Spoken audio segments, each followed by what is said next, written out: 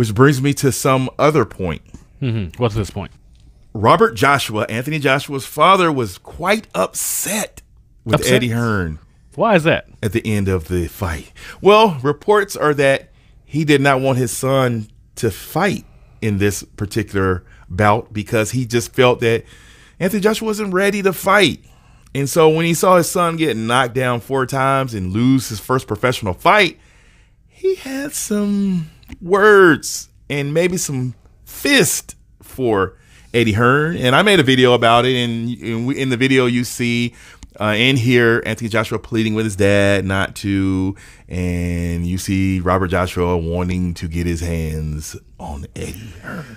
What are your thoughts about that? Uh, well, I think that uh, it's an understandable response for a father uh, Yeah. who is who maybe feels that Eddie Hearn uh, pushed the fight too hard Possible. uh, and ultimately didn't feel like his son was prepared.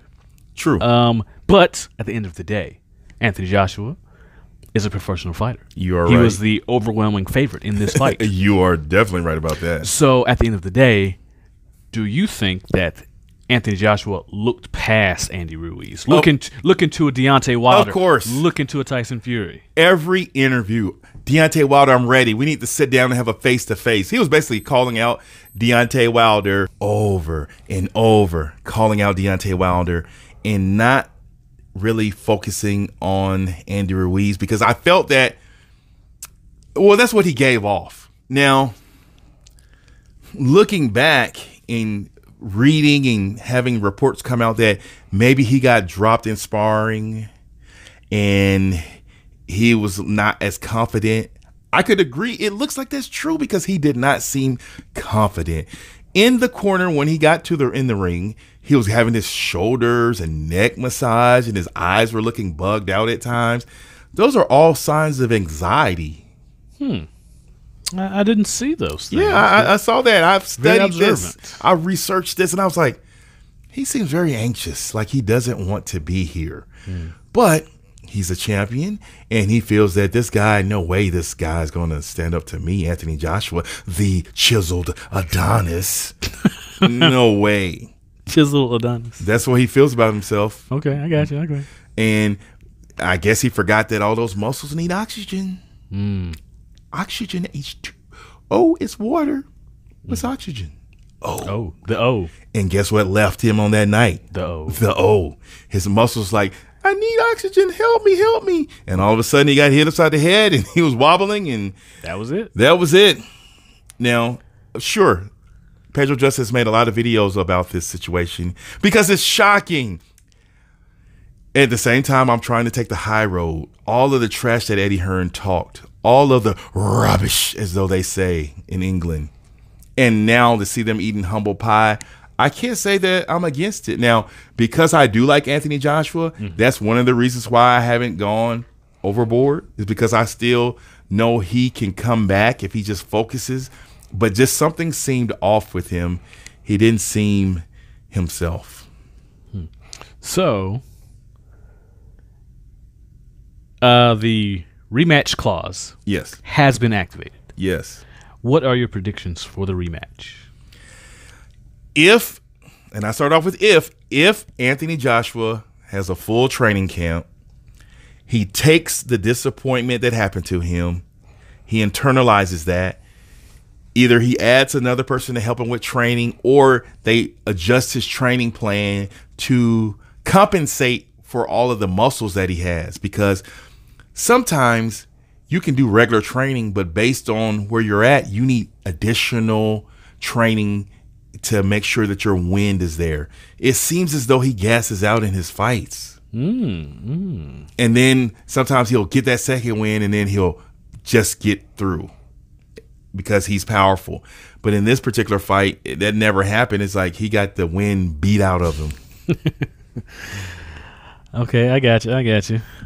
Um, okay. So Yeah. he's he's not gonna look past Ruiz again, is he? He should not. Now, Hindsight is twenty twenty. Yes, it is.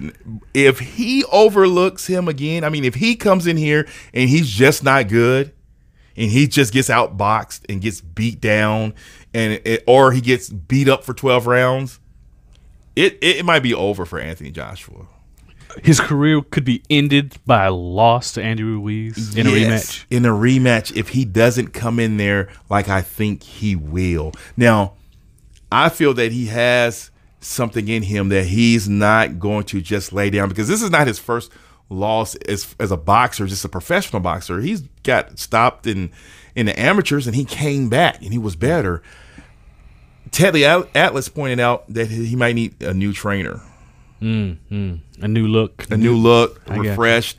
If he keeps the same trainer, they can't have the same game plan. I mean, if again, I heard in the corner them communicating, it just seemed odd. Like it just seemed not right. And it, okay, I'm saying all this. This is it. Just jab. Just jab. Just jab. Just jab. Six foot six, two forty seven. Put your guard up. Jab Point him out. point him out, set him up. He didn't do any of that. So let's just say the first original game plan, if he had one, it didn't work because he didn't execute anything. So, Well, the great Mike Tyson said everyone has a plan they take that first hit. and he didn't take maybe- the hit. So you're saying that the chin is in question for the next fight? I I'm thinking so. I mean, he got hit with that left hook. Okay, well, what, what about this question? Ca- Will Andy Ruiz come in overconfident? Like Buster Douglas came in w- w- way out of shape for the Evander Holyfield fight and got knocked out? I don't think that will happen. Okay. Um, Andy Ruiz believed in, in himself to win this fight. Yes. where no one else believed, That's true. and he was ready. He was ready. he he trained in five weeks too, Yeah, you're right. and he did what he needed to do. He came in lighter than normal, Yeah. Faster than normal. He was ready, and I think he'll be ready for a rematch. Yeah. and he'll have boxing fans behind him. Yes. I don't think he needs to lose weight. I think at the end he gained a little, like five pounds, just to so he made sure he felt like himself. And the good thing is he had a fight before that, and it's odd that you would come off a fight and then have another fight. But I think that worked to his advantage because He was warmed. he was warmed up. He already had a training camp, and the guy was bigger and like Joshua, and he took care of that guy. So two big guys in a row dismantled them, terminated the Terminators. Giant Slayer. Giant Slayer. So, Anthony Joshua, we will let you off the hook. I could go on for hours talking about this. I'm not No. saying that I'm not going to make any more videos.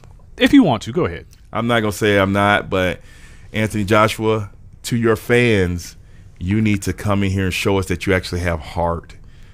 All of that talk about Deontay Wilder and, and really is from Eddie Hearn and Barry Hearn. Should Deontay Wilder be returning Anthony Joshua's calls today? Yes. First, he should answer.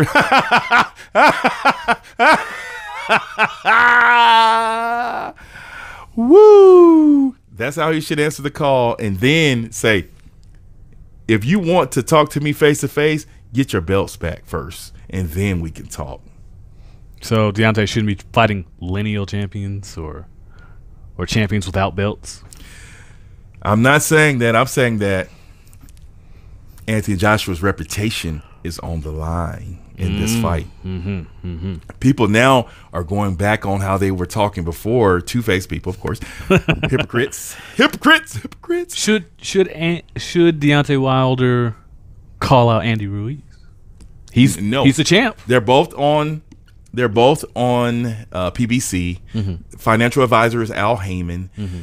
Contractually, no matter what Andy Ruiz is saying, saying he wants fifty million and all this stuff, he's still going to have to fight Joshua next mm-hmm. unless Joshua backs out. So before any real Deontay Wilder and Andy Ruiz talk happens, Andy Ruiz has to take care of business and defeat Anthony Joshua for the second time. Defend his title. Yep. And then he'll be ready for Wilder. Then it's a super fight. Now, in spirit, I don't know if there's been an actual sign, but I know Deontay Wilder and Tyson Fury are supposed to fight sometime early next year. If if he beats him, but see that's in December, so we'll see. I know it's gonna be talks, but just say he cancels that fight the same way. Uh, Tyson Fury backed out of their immediate rematch, and mm-hmm. Deontay Wilder backs out of this, and that's a fight between Andy Ruiz for the undisputed heavyweight championship. That'll be the biggest fight. I, I, I believe that. so heavyweight boxing is back, and don't let anyone tell you anything other than that. It's back. It is back. It's back.